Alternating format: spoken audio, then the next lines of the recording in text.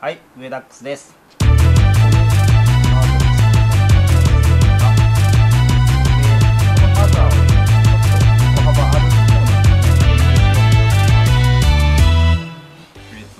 急にパソコンが1台いることになりまして、えっと自作します。それでですね、えっとマザーは、えっとよく僕使うマザーですね。ASUS の B75M プラスというマザーボードです。で LGA1155 です。CPU と CPU ファンリテールはもう取り付けてしまいました。メモリーも 4GB1 枚ですね。アダタ1枚つけてます。えっともし付け方がわからなければできれば僕のですね過去からですね過去の動画から自作動画を見て付け方を見てもらえればいいかと思います。特に難しいことはありません。はい。それではですねケースですね。ケースがこちらになります。サイズというメーカーでしょうか。あの CPU ファンとかのメーカーで有名なとこですね。えっ、ー、とスリムケースです。薄いです。薄いです。でマイクロ ATX 用のスリムケースですね。電源 300W の電源付きですね。えっ、ー、と安くて済みます。やりたいと思います。あとこういうののネックなのはあと電源がですねもし壊れた時に交換するのがまず作業もめんどくさいし電源がなかなか売ってません。なのでその辺は覚悟してスリムケースは使った方がいいんじゃないでしょうか。はいじゃあもうケースにマザーを取り付けていきます。ケースにですねネジをもう取り付けたんですが固定マザーボードを固定するためのネジですね。てあります。ケースにマザーを入れます。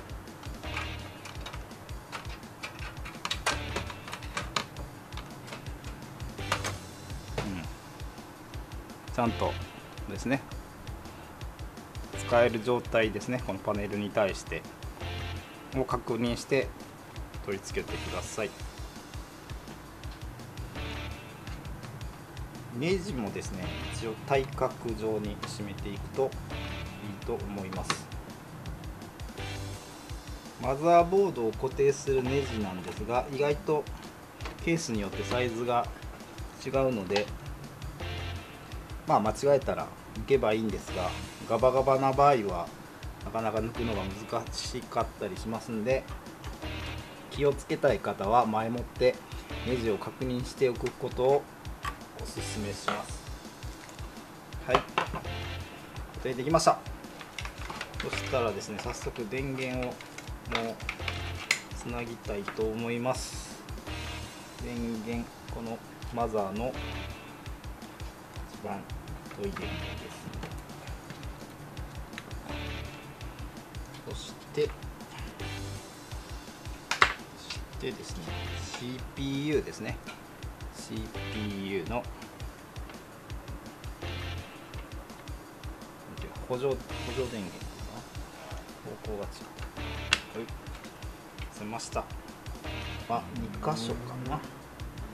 ここが開いてますのでここにケースファンを挿します、はい、であの、知り合いが一度パソコンが動かないと持ってきたことがあるんですがその時は CPU ファンをですねケースファンの方に挿してケースファンを CPU ファンにさせてたんですよ。最近のマザーはですね CPU のファンが回らないと起動できないようになってるみたいです。なのでよくですね書いてありますんでここに CPU ファンって書いてますんで確認して CPU のファンは取り付けましょう。はい。オーディオですね。オーディオはですねこの穴が1個閉じてます。あとですねいかにもというかまあ刺さる形のとこで間違いないと思うんですけども、はい。まあ、ここにしか刺さらないのでここに刺します。はい。そして次が USB ですね。USB はですねマザーボードによってですねあの多数用意されている場合があります。ここなんですけど。はい。これは2個ですね。増設もう1セットぐらいは増設できるようになってます。これも穴が穴がですね1個。閉まっているので刺さるとこさせるところは分かると思います。はい。オーディオと USB は刺さりました。そしてですね一番大事な配線ですね。えっと毎回言ってるんですけどもパワースイッチが一番重要です。パワー SW これを間違えるとパソコンの電源が入りません。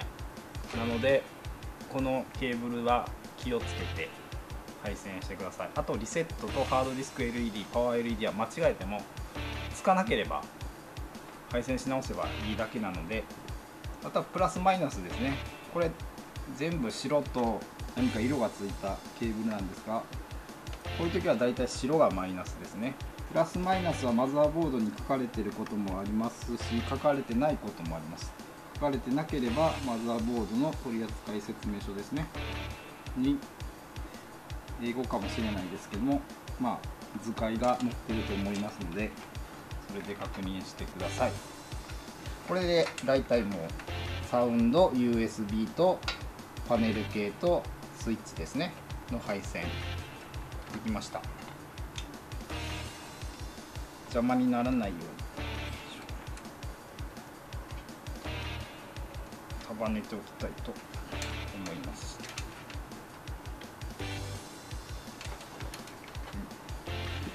そして、えっと、電源ですね。次にですねマルチドライブとハードディスクの取り付けです。これはえー、っとバルクですね。えっ、とどこのバルクだろうか。どこのバルクかわからないですね。SH-224DB ってやつです。あのマルチドライブ僕あんまり気にしません。あの品質にこだわるなら、えーと、パイオニアを使った方がいいと思います。焼き上がりですね。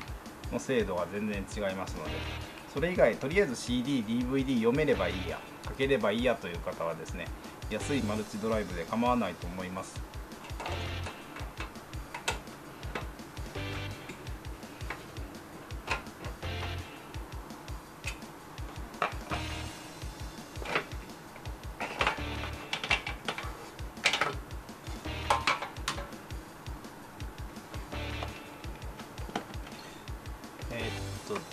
取り付けるためのフロントの蓋ですね。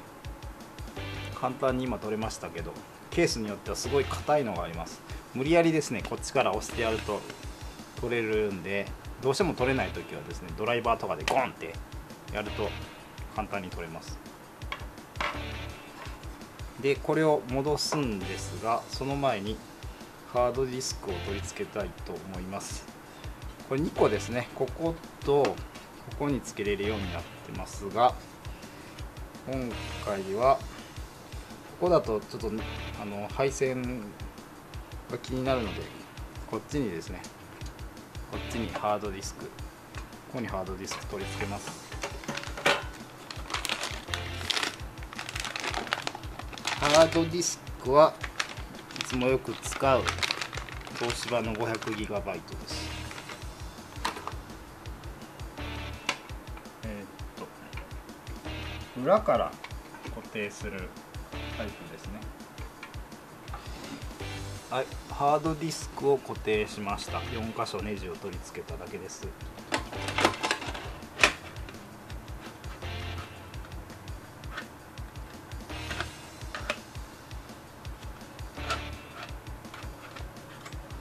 はいすいません。ハードディスクとマルチドライブ取り付けました。この状態で元に戻します。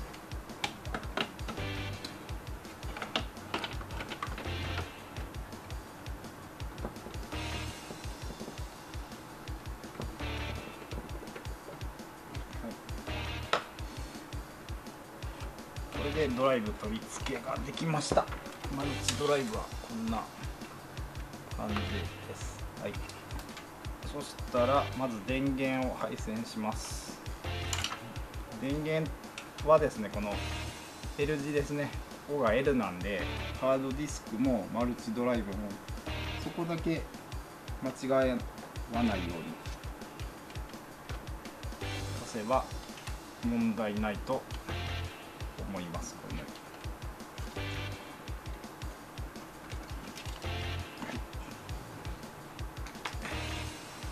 FPTA の配線を行います。このマザーボードは多分多分というかこの白いのがですねシリアル ATA6 ギガタイプのとこです。なのでそこにハードディスクを接続します。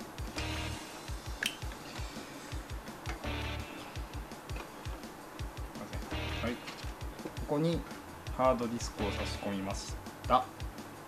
でこのマザーはですねちょっと横幅ある方なんですね。メモリスロット4つもあるし。なのでちょっと刺すのが大変ですが。うん、まあ、工夫して刺してください。そしてですねハードディスクへつなげます。でマルチドライブですね。マルチドライブは別にどこでもいいと思います。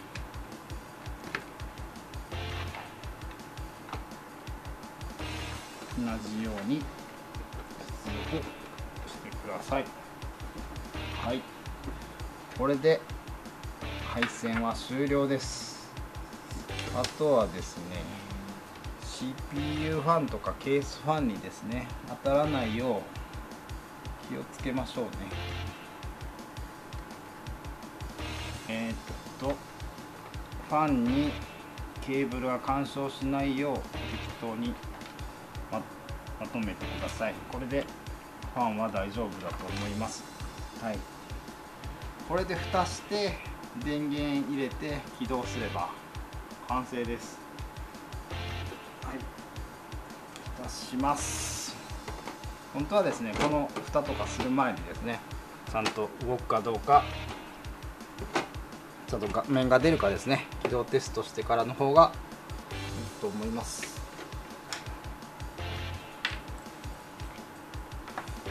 モニターケーブルを挿して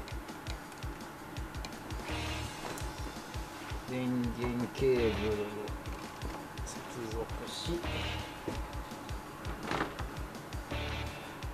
はい。接続できました。画面の方向にカメラを向けますね。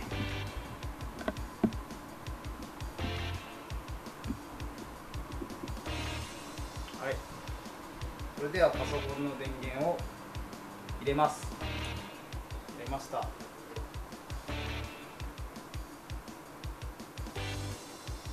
パワー LED 正常ハードディスク LED 正常 ASUS のロゴが出ました。そして、えっと、ルートデバイスをがありませんという警告ですね。あとは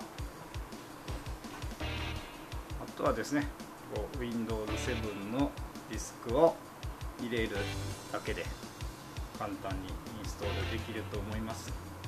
はいこれで自作終了でした。えー、っと音はどうだったのか。検証してみたいと思います。終わります。ウェダックスでした。